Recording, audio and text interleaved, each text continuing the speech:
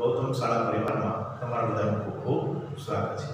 મિત્રો, ધોરણ નવ વિષય ગણિત ચેપ્ટર આપણું સંભાવના, એમાં આપણે ઘણા બધા દાખલાઓ શીખી લીધા છે. આજે ફરીથી હું તમને સરસ મજાના બે દાખલા વ્યવસ્થિત શાંતિ સમજાવું છું અને આ બે દાખલાઓ છે તમારે બાકી નોટમાં ઉતારવાના રહેશે. તો એમાં પહેલો દાખલો આજનો. આંકડાશાસ્ત્ર વિષય પ્રત્યેનો વિદ્યાર્થીઓનો અભિગમ જાણવા માટે બસો વિદ્યાર્થીઓનું સર્વેક્ષણ કરવામાં આવ્યું અને તેની માહિતી નીચેના પુસ્તકમાં આપેલી છે. આંકડાશાસ્ત્ર વિષય છે અભિગમ. ગમે એવા વિદ્યાર્થીની સંખ્યા એકસો પાંત્રીસ છે. આંકડાશાસ્ત્ર વિષય ન ગમે એવા વિદ્યાર્થીની સંખ્યા પાસઠ છે. નીચે બે પ્રશ્ન પૂછ્યા છે. વિદ્યાર્થીને આંકડાશાસ્ત્ર ગમે. વિદ્યાર્થીને આંકડાશાસ્ત્ર ન ગમે તેની સંભાવના શોધો. મિત્રો, આ એની રકમ છે જે તમને પાઠ્યપુસ્તકમાં આપેલી છે. હવે આપણે દાખલાની કરીએ શરૂઆત. તો દાખલામાં સૌથી પ્રથમ કુલ વિદ્યાર્થીની સંખ્યા લખવાની. તો કુલ વિદ્યાર્થી કેટલા હતા? બસો વિદ્યાર્થીઓ. કે આખો સર્વેક્ષણ છે એ કેટલા વિદ્યાર્થીઓ પર થયો હતો? તો કે બસો વિદ્યાર્થીઓ પર થયો હતો. હવે જે આપણો પહેલો પ્રશ્ન હોય, એને કહેશું ધારો કે ઘટના એ પહેલો પ્રશ્ન હોય એને ધારો કે ઘટના એ એ શું પ્રશ્ન તો વિદ્યાર્થીને આંકડાશાસ્ત્ર ગમે. આંકડાશાસ્ત્ર ગમે. નીચે આ વાક્ય લખી નાખવાનું. ઘટના એ ઉદ્ભવવાના શક્ય પરિણામ. કેટલા વિદ્યાર્થીઓને આંકડાશાસ્ત્ર વિષય ગમતો હતો. તો આમાં લખ્યું છે, ગમે છે એવા વિદ્યાર્થી કેટલા હતા? એકસો પાંત્રીસ. મેં લખ્યું કે ઘટના એ ઉદ્ભવવાના શક્ય પરિણામો એકસો પાંત્રીસ. હવે પી કૌંસમાં a. પી એટલે પ્રોબેબિલિટી સંભાવનાને ઇંગ્લિશની અંદર પ્રોબેબિલિટી કહેવાય. એ એટલે ઘટના તો કેટલા વિદ્યાર્થીને ગમતું હતું? આંકડાશાસ્ત્ર એકસો પાંત્રીસ. કુલ વિદ્યાર્થી કેટલા હતા? બસો.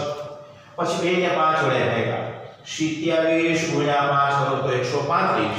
અને આ પાંચ ગુણ્યા ચાલી કરો તો બસો. પાંચ પાંચ ઉડાડો. તો સત્યાવીસ ના છેદમાં ચાલીસ આ જવાબ આવી ગયો. ત્યાર પછીનો આપણને બીજો પ્રશ્ન પૂછ્યો છે. એને કહેશું ધારો કે ઘટના બી. આંકડાશાસ્ત્ર ન ગમે. વિદ્યાર્થીને આંકડાશાસ્ત્ર ન ગમે. નીચે આવું વાક્ય લખી નાખવાનું. ઘટના બી ઉદ્ભવવાના શક્ય પરિણામો. બસો વિદ્યાર્થીઓમાંથી કેટલા વિદ્યાર્થીને આંકડાશાસ્ત્ર ન ગમે? ન ગમે એવા 65 વિદ્યાર્થી હતા. તો બી ઉદ્ભવવાના શક્ય પરિણામ પાસે. પી એટલે પ્રોબેબિલિટી, સંભાવના. બી એટલે ઘટના. 65 વિદ્યાર્થીને આપણા સત્ર નહોતું ગમતું. કુલ વિદ્યાર્થી હતા 200 આના ભાગ પડ્યા 13 પંચા 65 પાંચ ચોક 20 આ મીંડું લાગી ગયું પાંચ પાંચ ઉડાડો તો 13 ના છેદમાં 40 તો આ રીતે આપણો પહેલો દાખલો થઈ ગયો અહીંયા આજનો પૂરો. આ દાખલો આપણા પાઠ્યપુસ્તકની અંદર જ છે. રકમ અને જવાબ સહિત લખવાનો છે, સારા અક્ષરે લખવાનો છે. ત્યાર પછીનો બીજો જે દાખલો છે, ઘઉંના લોટની થેલી પર પાંચ કિલો વજન લખેલું હોય તેવી થેલી પસંદ કરી તેમાં ખરેખર લોટ કેટલો છે તે નીચે મુજબ છે. મિત્રો, આપણે બજારમાં જઈએ તો લોટની 5 5 કિલોની થેલી મોલમાં તૈયાર મળતી હોય. ઉપર લઈ કોઈ પાંચ કિલો.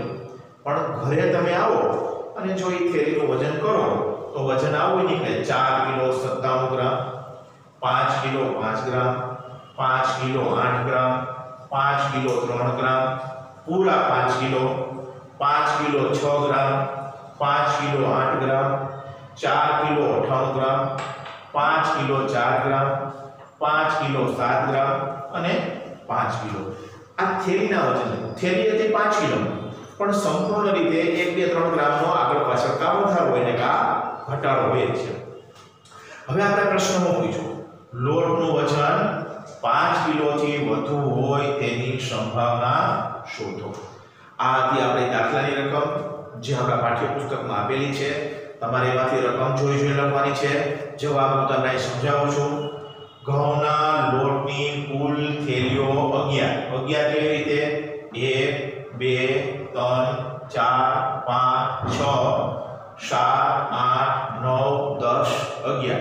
ટોટલ અગિયાર પ્રશ્નમાં તો એને કેવું ઘટના એ લોટનું વજન પાંચ કિલોથી વધુ હોય.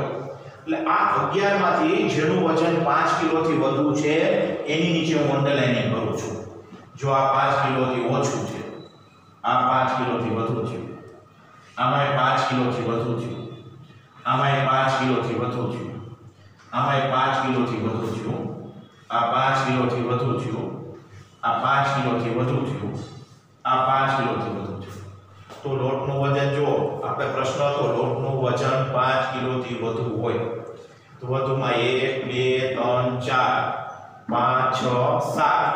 તો ઘટના એ ઉદ્ભવવાના કુલ શક્ય પરિણામો કેટલા? એક, બે, ત્રણ, ચાર, પાંચ, છ અને સાત. તો સાત પરિણામ આવ્યા. તો પી કૌંસમાં ઘટના એ સાત કુલ થેલી અગિયાર દાખલો કરો. તો આ બે જે દાખલા અત્યારે તમને શીખવાડ્યા છે પાકી નોટમાં ઉતારવાના છે. જ્યારે પણ આપણે સ્કૂલ ખુલશે, ત્યારે એમાં આપણે ચેક કરવામાં આવશે અને ત્યાર પછી તમને એના પરથી આપણે પરીક્ષા લેવામાં આવશે. Thank you